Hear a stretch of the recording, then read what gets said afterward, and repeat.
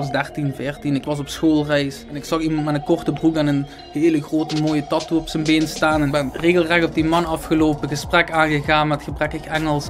Ik wist op dat moment welke weg ik wil lopen en daar ben ik gewoon voor gegaan.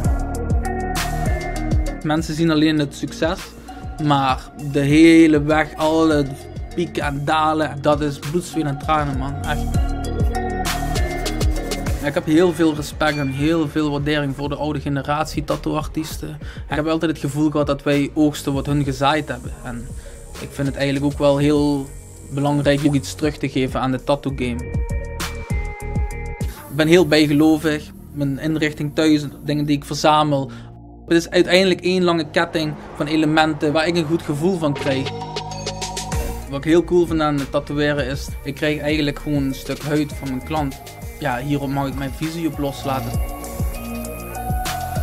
Ik ben altijd gegaan en merk gewoon dat mijn kunst overal zijn waardering krijgt. Dat maakt het steeds mooier en mooier. De tattoo wat ik zet neemt hij gewoon mee zijn graf in.